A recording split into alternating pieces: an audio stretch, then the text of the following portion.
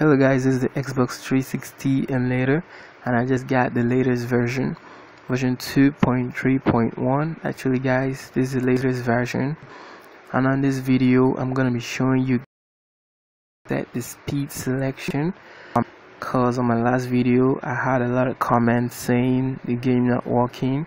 I can't set the speed make a video on that how to set speed. Actually guys I'm here to help so this is the video on how to set speed. But the first thing you gotta make sure and you must use you have to have a strong Wi-Fi connection. You can see my Wi-Fi connection here. A very strong Wi-Fi connection. Then you go to the speed. You can see the speed here in blue. You click that beside the settings now guys. You can see over here my speed is already set.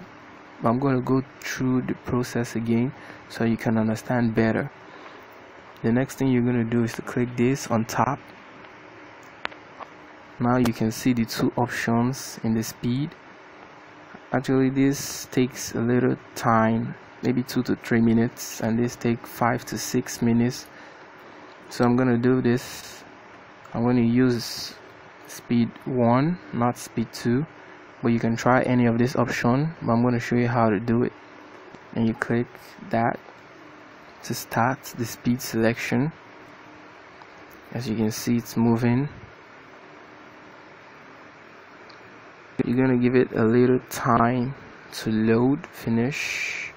And when that is done you can be able to play the game on Xbox 360 emulator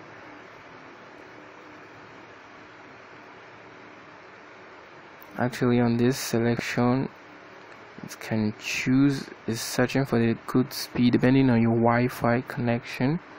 Remember guys I recommend Wi-Fi connection. Don't use a mobile network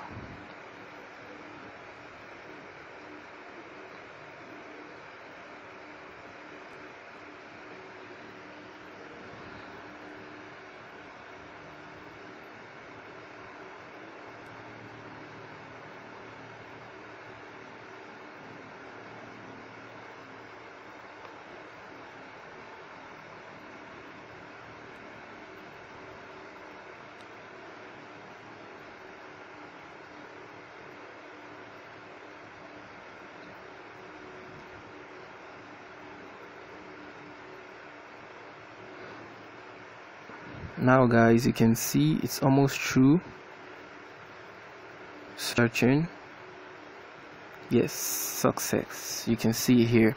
Then you press this. You click that. Now you can see my speed has changed. 1.17 megabyte per seconds. That is cool.